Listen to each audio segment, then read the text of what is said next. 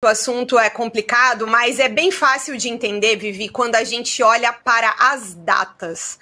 E a primeira data que eu quero é, trazer aqui, que é para todo mundo lembrar, é da, das datas que saíram as primeiras reportagens da Vaza Jato, que foi coordenada pelo Leandro Demore lá dentro do Intercept, quando ele era editor do Intercept. E as, a, a, as reportagens começaram a ser publicadas no dia 9 de junho de 2009, de 2019 que, que aconteceu dois dias antes? E essa é a informação que a gente traz com exclusividade aqui.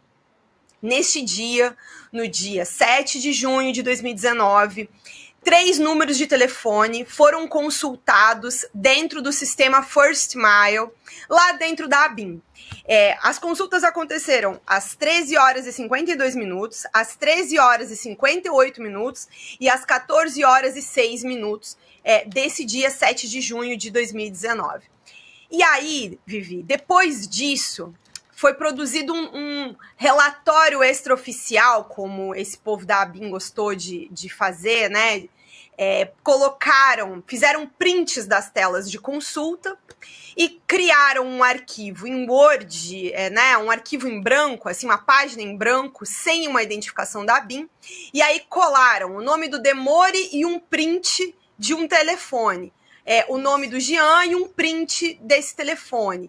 O nome do David Miranda e um outro print. O que, que a gente fez, eu e o Igor? É, ao ter acesso a essa documentação que foi apreendida pela Polícia Federal durante as investigações. A gente foi checar que números de telefones eram esses. E, para nossa surpresa, e aí com a ajuda do, do Demore, inclusive, a gente descobriu que, por exemplo, o telefone que aparece nessa consulta atribuído ao Demore é um telefone que o perfil pavão misterioso utilizou para dizer que era um telefone dele. E uma investigação que o próprio Demore fez mostrou que um chip foi comprado na Vivo usando este número de telefone, o CPF dele e um e-mail que ele nunca teve.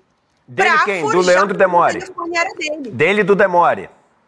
Dele do Demore. Tá. Alguém, ou seja, alguém comprou um telefone, um número de telefone, com um chip e fez, é, e fez parecer que aquilo tinha sido um telefone do Demore que tinha DDD 61, que é um, um, um número que o Demore nunca teve. O Demore nunca teve um telefone 61.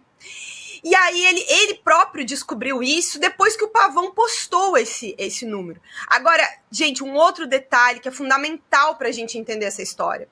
Eu falei aqui para vocês que as consultas no First Mile com esses telefones aconteceram no dia 7 de junho de 2019, certo? Certo. As primeiras postagens, as primeiras postagens do perfil do, do Twitter, desse perfil pavão, só vão acontecer no dia 16 de junho.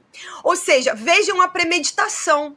Eles tinham os números dos telefones que depois foram usados para esses ataques é, uma semana antes, pouco mais de uma semana antes, de, dos ataques irem à tona, de, dessas postagens virem à tona. E ao longo do, dos próximos meses, ou seja, isso é em junho, depois em julho, são postadas conversas uh, forjadas como se fossem conversas entre o Demônio, o David Miranda, o João Willis a partir destes números de telefone. E isso foi um outro detalhe que, conversando com o Demore sobre esse assunto, ele explicou. Era uma coisa tão sofisticada que não é assim um print forjado simplesmente, ah, criaram dentro do software. Não, eles inseriram estes números de telefone em telefones e aí printaram as telas dos telefones. Ou seja, só para ver se eu entendi direito, os caras fizeram o seguinte: as conversas são reais, em números reais o que não é real é que esses telefones são do Demore e das outras pessoas. Eles compraram esse telefone em nome do Demore para todo o resto parecer uma coisa autêntica. É isso? Sim, e Edu, a, a, qual é a coisa mais grave em torno disso? É, os indícios todos apontam, já que eles próprios tinham estes números de telefone na ABIN, e Ué, como eles tinham esses números de telefone? Como que eles produziram documentos com esses números de telefone?